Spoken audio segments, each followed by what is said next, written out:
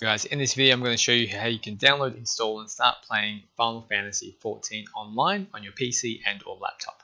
Now to get access to this game you will need to download Steam, so I'm going to quickly show you how you can do that first.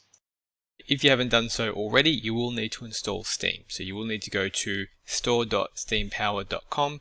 The link for this will be in the description below, so you can simply click on that to get to this page. Once this page loads, you'll just go to install Steam at the top middle of the screen. Once this page loads here, you'll click Install Steam.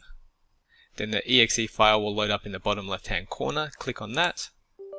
And then once you have this window up here, click Yes. And then that will take you through to the steps to install Steam on your system. Now once you've downloaded Steam, to simply get access to the game, in the top left hand corner, click on the store icon.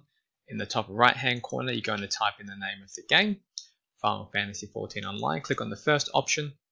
Now once that is appears, you're going to scroll down to where it says add to cart $28. You're going to click on that. Then you're going to click on purchase for yourself. Once you purchase for yourself, it'll take you through to the payment screen. After the payment screen, you can select your drive you wish to install it to. Then to get access to the game, click on your library in the top left hand corner, scroll down until you find the game, double click, and then you can start playing. That's all. If you found that helpful, make sure you like and subscribe for more.